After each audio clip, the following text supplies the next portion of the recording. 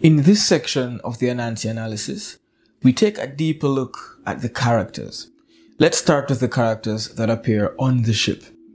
We have four major characters in Captain, Boy, Girl, and Woman, and two minor characters in Sailor and Auctioneer. Let's start with Captain and Boy, the father and son pair. For most of the play, Boy is portrayed as innocent, naive, and compassionate while Captain is ruthless and stern, seeing the slaves as cargo, as similar to cattle. Boy sees them as people and struggles to understand why they are treated like this. Also, while we see that Captain's way of thinking is quite linear, in that he adheres unquestioningly to the way things are, Boy is seen asking questions, reflecting in his diary, and restlessly seeking to address his sense of confusion and ignorance. Captain's job is not just one of manning the ship and managing the crew and cargo, but also of training Boy to one day replace him. Due to this, he becomes increasingly frustrated at his son's compassion for the slaves and insatiable curiosity, which makes the two even more estranged with each interaction. Due to their stark difference in views and personality, we can consider Boy and Captain to be contrasting characters, as they are each other's opposite in many ways. Even though Boy and Captain are contrasting characters, they can also be seen as a single character on two opposite ends of a chronological continuum. What I mean is, Boy may just be Captain's past self, while Captain might be Boy's future self. In that, every Captain was once a boy, perhaps just like this one, kind and curious. And every kind and curious boy eventually grows up and loses their innocence adhering to the constructs of this cruel world. This makes sense when you look at how Boy eventually becomes much more like Captain by the end of the play, even taking on Captain's duties. The other pair of characters are Girl and Woman. Girl is in many ways a character that is parallel to Boy, in that they're both children whose destinies seem to be set before them. In that way, they're both slaves. Also, they both start the story in a state of confusion and both ask many questions in an effort to understand the world around them and also the position they're in. Girl at first is terrified, frightened of the white men, the dark ship, the thought of never seeing her family and home again. Anyone would be frightened in this situation, not to mention a child.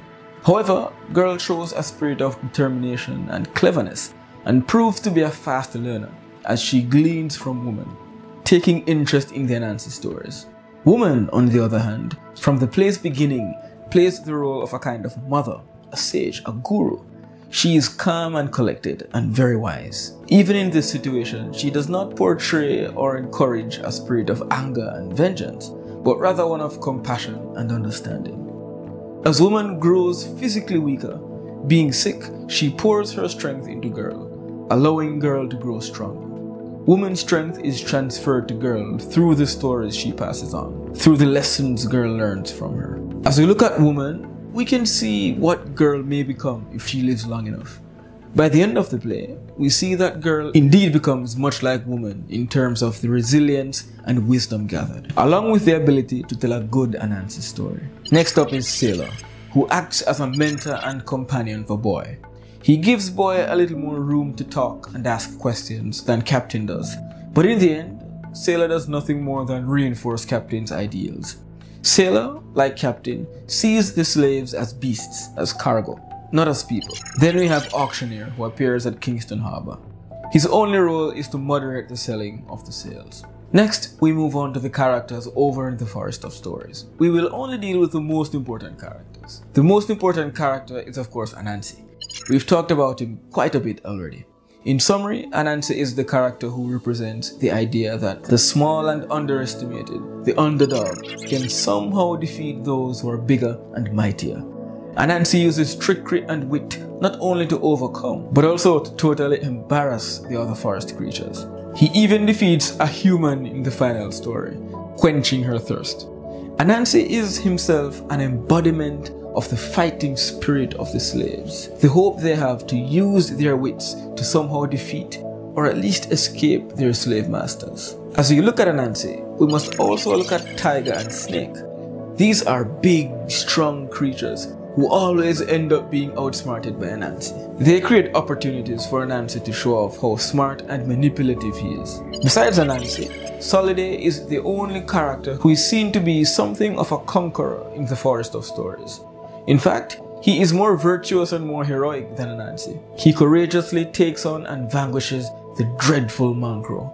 While Anansi may represent our ability to rise above insurmountable obstacles through cunning and wit, through trickery and deception, Soliday represents our ability to overcome evil with good through righteousness, virtuousness, and determination. It can be argued, though, that one needs to balance courage with wit and principle with artfulness. I say this because even though Soliday defeats Mancrow, he was himself tricked by Anansi. We can't speak of Soliday without mentioning Gran. Another human, Gran serves a similar purpose to woman.